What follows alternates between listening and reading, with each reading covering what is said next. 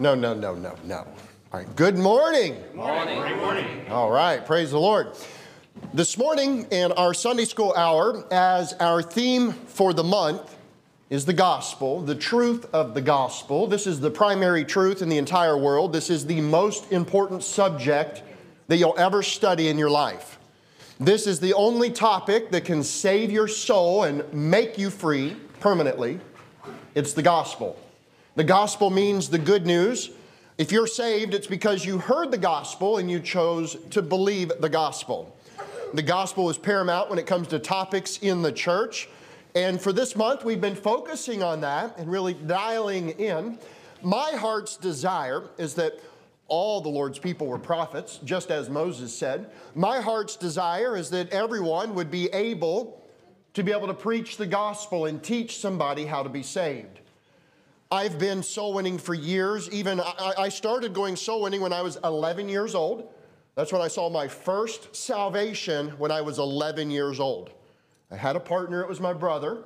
I'm very thankful for the opportunity to preach the gospel in the simplicity of the gospel and see somebody who heard of Christ but did not understand the gift of God, and they called on the name of the Lord. They received salvation by believing in Jesus.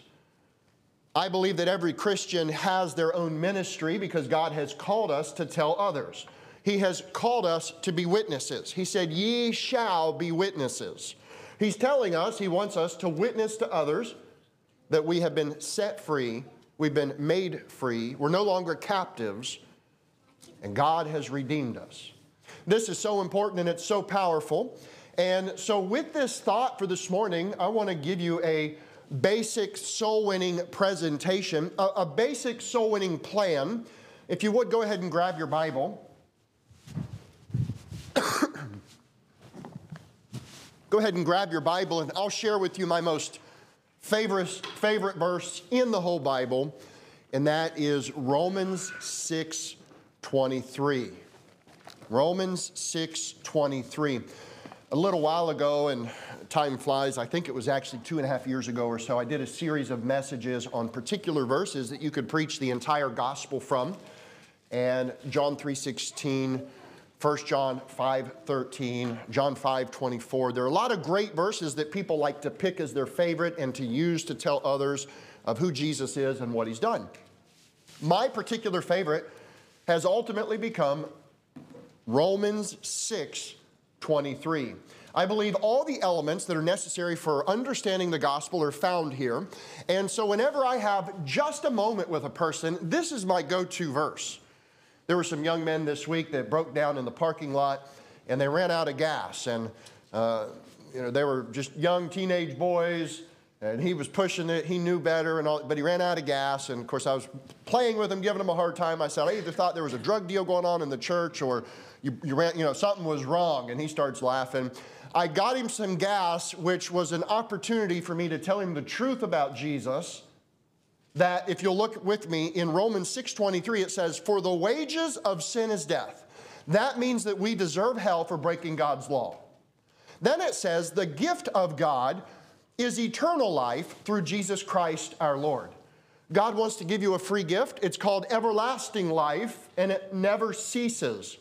And we only get it through one person, one way.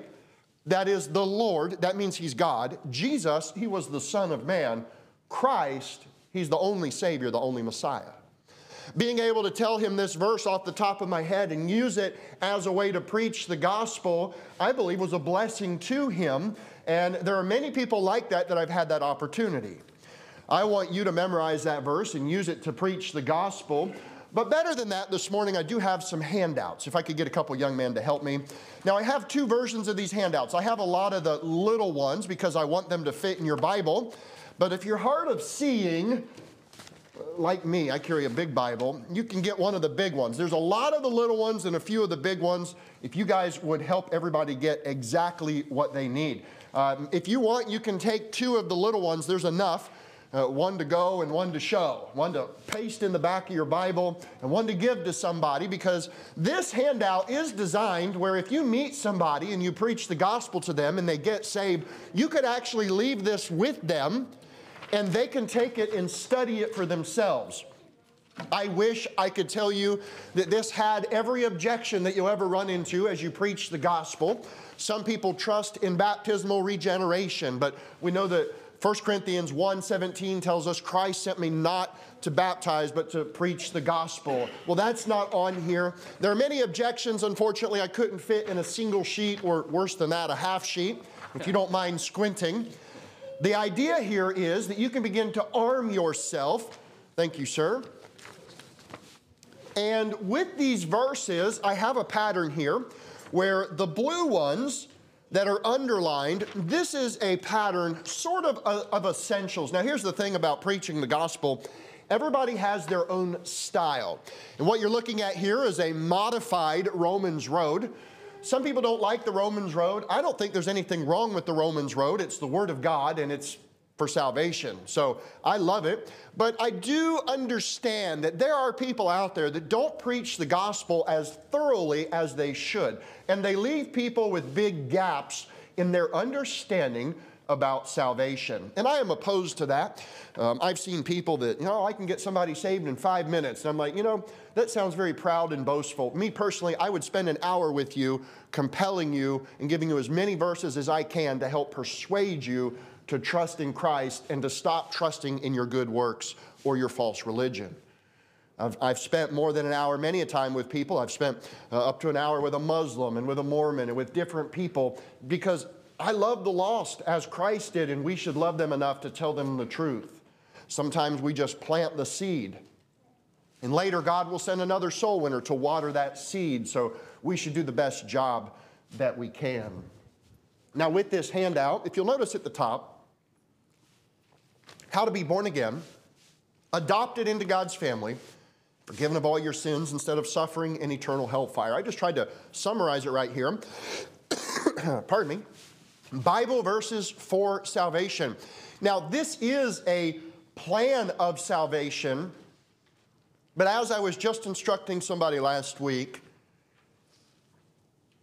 salvation is not just about a plan. It's not just about checking certain boxes.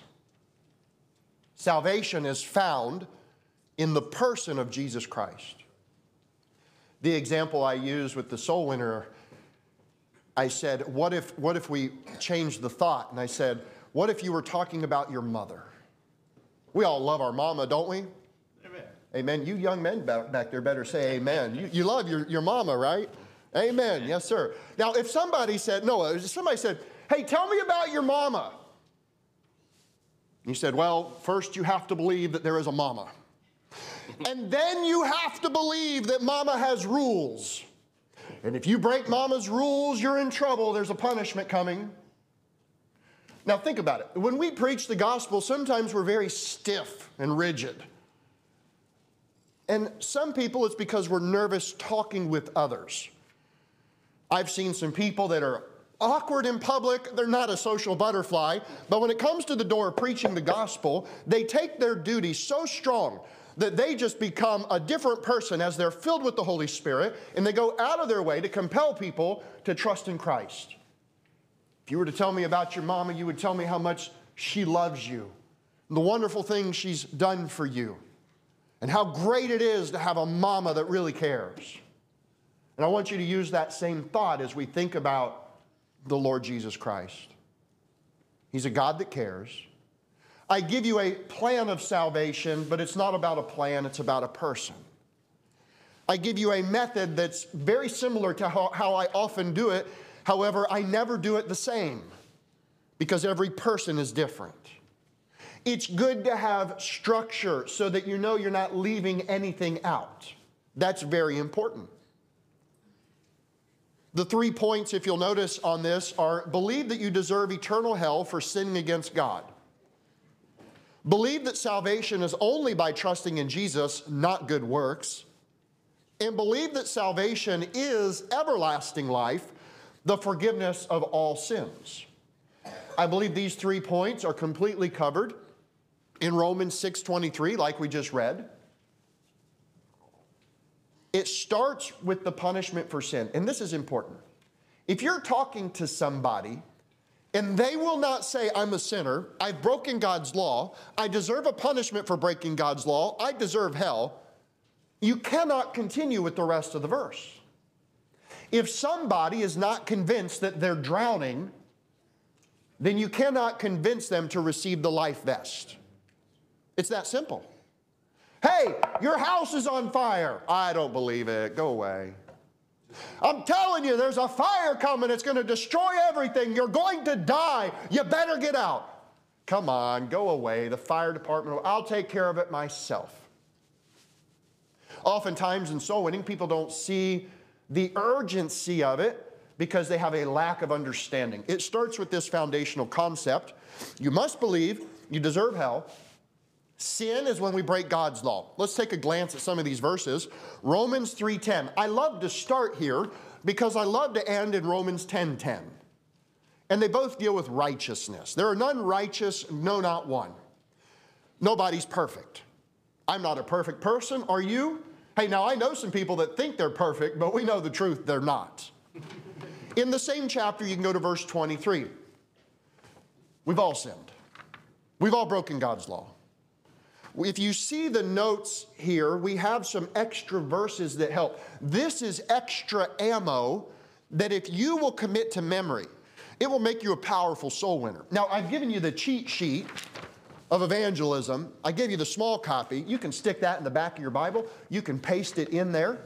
If you want to get serious about helping others trust in Christ, what I recommend is take three by five cards and you write out every verse in your own handwriting and you write one down and you memorize it. And when you have the whole verse, you go to the next verse and you do the same thing and you add to it and you add to it and you just continue building on that. So eventually you'll have a deck of cards that you can flip through and learn and memorize. I strongly recommend you do it with handwriting. There are applications for cell phones that can do that, and you can click and guess and click and guess. But, but there's something about seeing and saying and writing and reading all at once. You're using all of the senses. There's just something more powerful about it. Now, if you're blind like me, uh, you know, get a full sheet of paper and a big Sharpie, okay? Uh, but the idea is you want to write it out for yourself. Jeremiah 17, we know the heart is deceitfully is deceitful and wicked. Isaiah 64, our righteousness is filthy rags. John, 1 John 3, 4. Now, some people always go there when they preach the gospel. I rarely go there, but I know where it's at. And I always phrase it or paraphrase it or quote it as best I can that sin is a transgression of the law. If I run the stop sign at the end of the road, is that man's law or is that God's law? It's man's law. But if I lie to you, whose law am I breaking? God's law. Well, there must be a punishment for breaking God's law. Romans 6:23, if you'll notice that verse is in every category. The wages of sin is death. Wages are something you earn. You go to work, you get a paycheck. It's an hourly wage, a salary wage, a commissionable wage, whatever it is, it's a wage. If you came to me and said, Brother Fannin, I need 20 bucks, I say, Great, clean my truck and I'll give you 20 bucks. If you do the work, I owe you the wage, I have to give it to you. Well, the same thing goes with punishment. God said, If you break my law, I have to send you to hell. The wages of sin is death. When he says death, he's not just talking about the death of your body. There's something about you that will last forever. And I can't see it. You know what it is? Your soul and, and your spirit, for that matter. They're both eternal. Your eternal destination is determined before you leave the earth, and it's not based on how good of a person you are. It's based on your opinion of Jesus Christ. On, are you trusting Him for salvation, or are you trusting in yourself or some other way? Revelation 20, verse 14 and 15 is perfect, where it talks about death and hell were cast into the lake of fire. This is the second death. If you die and go to hell, it's like a second death, but how long does hell last for? Revelation 14 says, The smoke of their torment ascendeth up forever and ever, and they have no rest day nor night. Revelation 21 8 gives us a list of people that deserve hell, and that's often how I'll introduce it. Revelation 21 8. Now, now I'm trying to remember off the top of my head. Well, that's the, that's the part I like to emphasize. If you notice, I put all liars because it's essential. He, it starts out by saying, but the fearful and the unbelieving and the abominable and murderers. Now, have you killed anybody this year? Brother Jeff, you're kind of a rough dude. I know you live with my. No, nobody this year. Amen. All right. but what a great opportunity to say. But now let me ask you if you did, if you murdered somebody in cold blood and you died without Jesus, where would you go? Straight to hell. Of course, we would deserve hell for murder. You can continue. He says, uh, the, the murderers and whoremongers, that's people that sleep around that aren't married. He says sorcerers, that's like witchcraft and magic and Harry Potter. Now, now, Brother Jeff, have you been casting any spells this year? Not yet. Okay. I know some of you thinking just in video games. I've had several guys tell me that just in video games. I'm like, I wouldn't play with witchcraft, my friend. But anyway, God hates that, right? But then he goes into idolatry. That's when you have something else instead of Jesus as God. And it's interesting, he turns the corner, and all liars. Uh oh. Have you ever told a lie? Have you? Have you? Is anybody in here that say, I haven't lied? All liars shall have their part in the lake which burneth with fire and brimstone, which is the second death. Even though you're not a murderer or into witchcraft, you've broken God's law by lying, and that's all I need to know about you. You don't have to know my sins, I don't have to know yours. We're all found guilty. We're in trouble. We deserve hell. If somebody won't agree with you in these points, you cannot continue. This is where you have to emphasize. This is where you have to focus. This is where you have to help them understand God's judgment, who He is. It's the Lord Jesus Christ that will judge the world. And He already has. He's given us His word. If you notice here, I do give you extra verses. Whosoever maketh a lie, it says in Revelation 21. It says something similar in 22. Mark 9 gives us where it talks about the fire that will that is not quenched. It will never cease. Hell is eternal. These are important details. Some people think, well, yeah, hell, but that's just the grave and there's no real fire and you don't really stay there and it's not, you know, you just disappear real quick. That's not what the Bible teaches. My second point believe that salvation is only by trusting in Jesus, not by good works. So if you notice, some people will break this into four or even five points sin and hell. I put it as one that's my one focus. If they don't believe they're a sinner, they don't believe they deserve hell, I don't go to point two. Number two, I use, you could also split this in two, but I put it as one. Believe that salvation is only by trusting in Jesus, not by good works. Some people present the life of Christ as a single point, and then trusting in Christ is essential for salvation. I blend the two because so many of the verses in context you can preach that same topic in context in several places in the Bible. In Romans 5 8, this is important because this is where you make the turn. This is where, now I've told you the bad news, let me tell you the good news. But while we are yet sinners, Christ died for us. Even though you still sin and you deserve hell for that sin, Jesus loves you and he already paid for all of your sin. Every one of them. He either paid for it all or you're trying to earn it yourself. This is so important. I ask people, do you believe, and, and I ask it in such a way, uh, do you believe that Jesus died for all of your sins? And as they're saying, they're answering, most say yes. I continue my statement, or do you think you can lose your salvation? Many Pentecostals have this mentality. I just say a prayer and I'm good to go. And then Friday night I sin. Saturday I wake up, I feel guilty. Sunday morning, I'm going to go down to the altar and pray another prayer, and I'm good to go again for another week. They don't really understand the gospel. They don't. We're trusting in Christ that paid for all. Believe that salvation is only by trusting in Jesus, not by good works. 1 Corinthians 15, 3 and 4 defines the gospel, the death, the burial, the resurrection. Most of the people that you talk to, if you're out soul winning, that want to listen and want to get saved, would call themselves Christians, but they would also tell you they're not 100% sure they're going to heaven. Many of them would, well, and I get, are you 100%? Well, are you 50%, 70%? Uh, 80%. Oh, 80%. Okay, does that mean you're 20% sure you're going to hell? well, yeah, a lot of people have doubts. We're here to dissolve doubts, as the Bible says. And we dissolve doubts by putting our confidence in Christ instead of ourselves. We don't trust ourselves. We can't trust ourselves. We can't make provision for the flesh.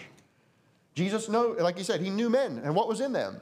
We need the light, which is Jesus Christ. He's the true light that lighteth all men. Men love darkness rather than light because their deeds were evil. We have to go out and preach the light. Many people will know who Jesus is, believe the Bible is God's word. They'll even understand things like the Godhead and eternity and the judgment seat and the return of Christ, and still yet not be saved. Not be settled in that Christ has finished the work or that they're fully relying on Him. Many think they have to do good deeds and bring a sacrifice, bring an offering, change their life around to receive the gift. Doesn't work that way. Notice we're back to Romans 6:23 that eternal life is through Jesus Christ our Lord. I use this as an opportunity to preach the Godhead. Jesus, it was the Son of Man. He was 100% flesh. He was tempted at all points, like as we are, yet without sin. I have references to those verses here. A lot of times I personally hit it when I get here. I like to, I, I use Romans 6.23 as my uh, Swiss Army knife of the gospel, if you will. He's the Lord. Many people are confused and they think that means I have to submit as a servant, be ready to submit for the rest of my life. By Lord, it means He's God. He's Jehovah. Jesus is Jehovah. He is the I am. He was before Abraham. He is our Creator. I've given you a section of verses on that. But being Christ, He is the Messiah. He's the only Savior of the world. Acts 16 is a very important area. I will take people to there, and as I'm turning to it, now, I will define terminology with the Bible. Some people are confused. Some people think born again is one concept and being a saint is another. That's the same thing. Some people think salvation of the soul and being regenerated are different things. I like to reverse terminology to define it. Oftentimes, I'll tell people uh, the Bible says uh, they ask this question What do I have to do to be saved? Or they'll, they'll say the question what, How do I get born again and know I'm going to heaven? And as I'm going there, I go to uh, Acts 6, 16, verse 30, where it says, What must I do to be saved? And they said, Believe on the Lord Jesus Christ, and thou shalt be saved. Many people, I've asked, I'll ask people, say, what do you think you have to do to go to heaven? They'll say, uh, get saved. And I'll say, okay, how do you do that? Uh, get born again. And okay, um, and I'm really trying to dig in and find out what they believe. And I say, well, how do you get born again? Well, uh, be good, keep the commandments, turn from sin, go to church, take care of your family. Oh, keep the commandments. Uh, can you name them? Oh, you can't name them. What if I told you it was a lot easier than that? And this is the good news. This is why the gospel is called the good news. Salvation is easy. Jesus did all the hard work. The Christian life is hard. Living up to God's standard and keeping His commandments as we should if we want His blessing, that's hard work. But we need to do it.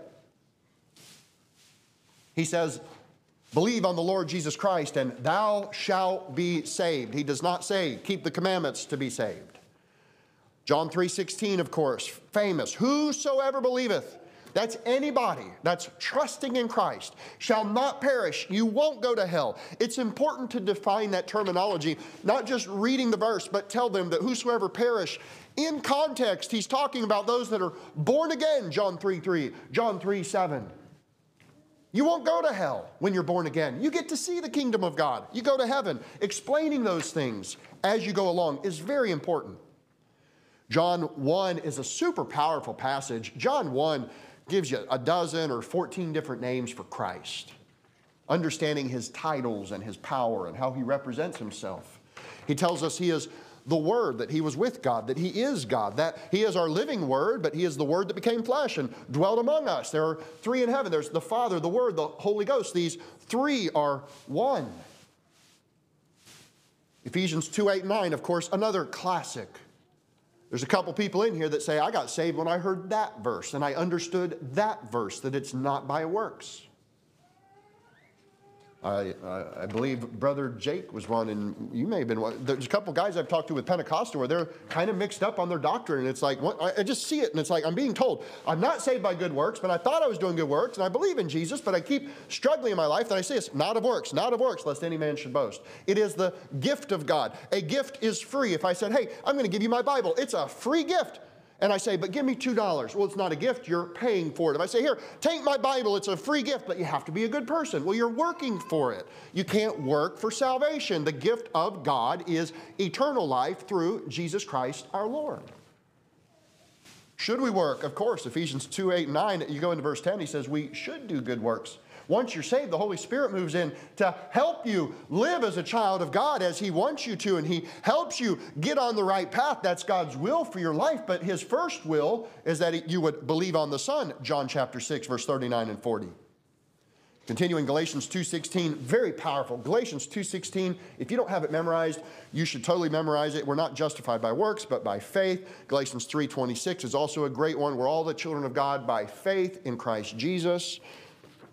I gave you two sections here about how Jesus is God and He is Creator. I gave you several great verses on that point uh, to help you to be able to answer questions if somebody doubts in that area. Oftentimes, I will ask people, Do you believe Jesus is God? And they'll say, um, I think He's the Son of God.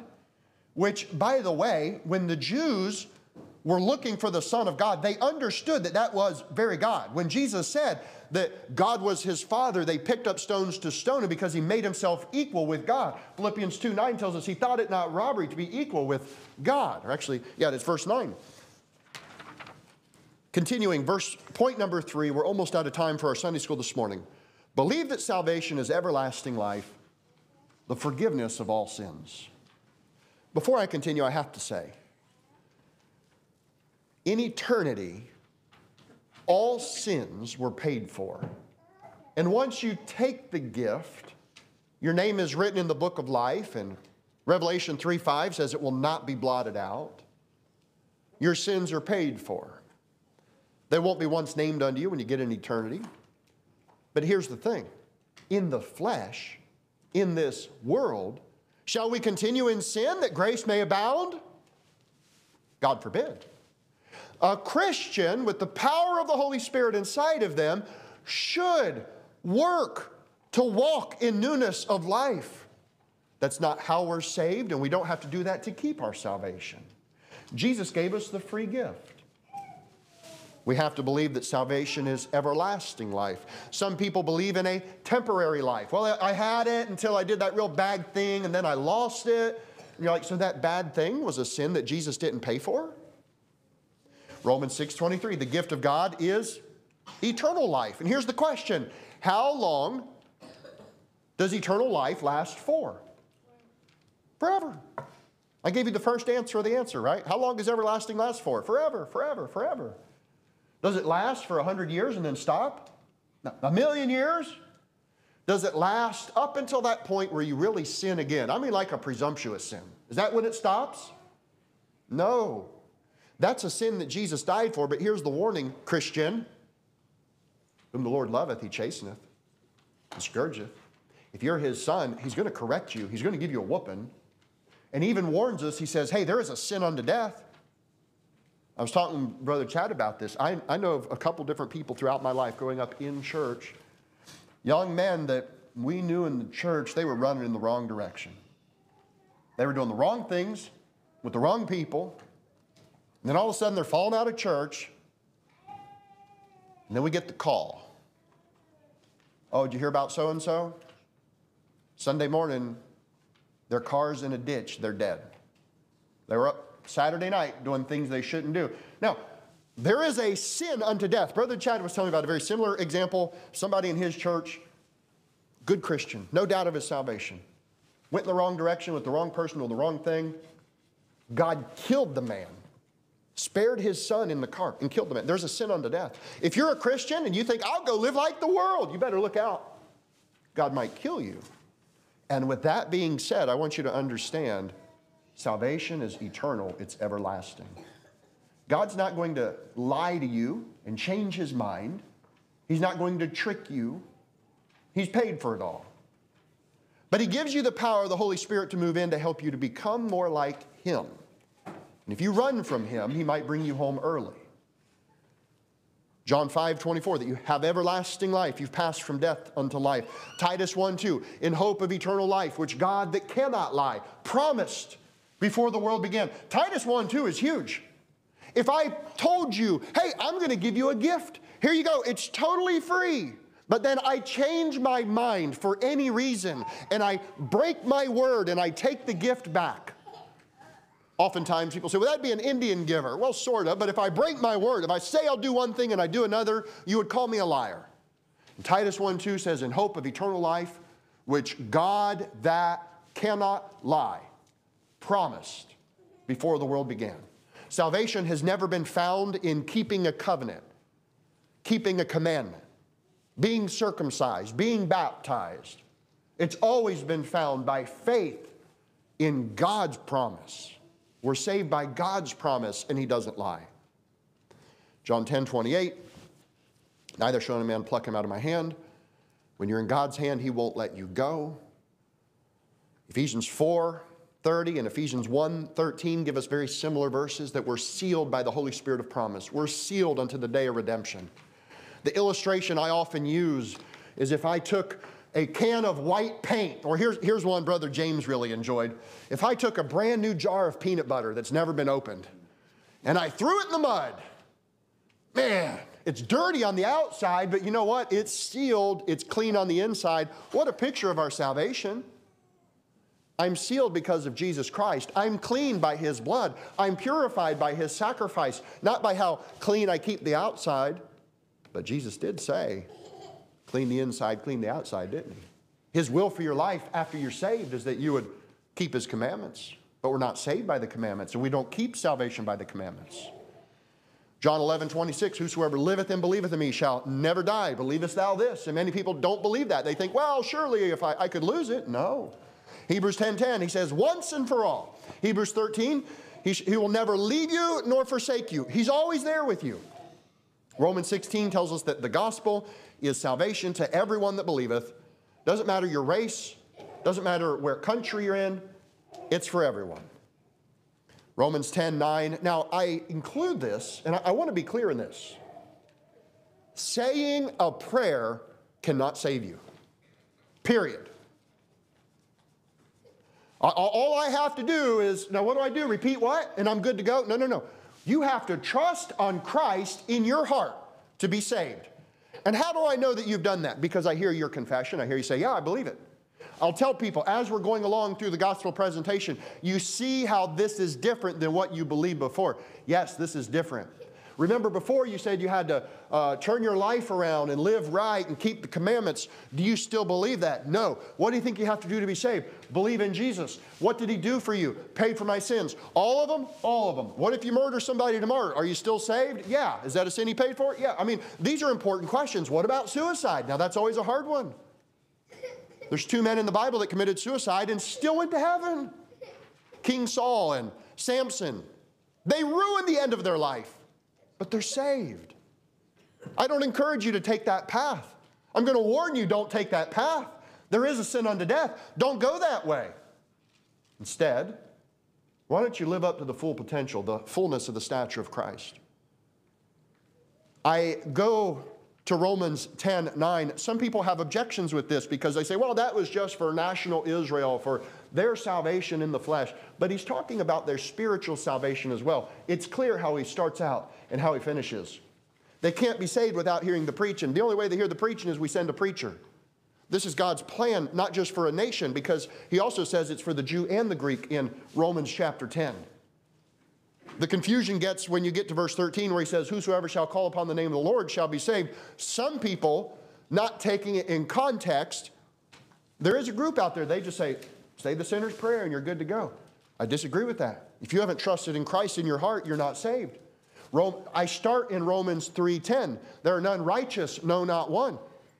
Righteous means perfect. I end in Romans 10:10. For with the heart man believeth unto righteousness.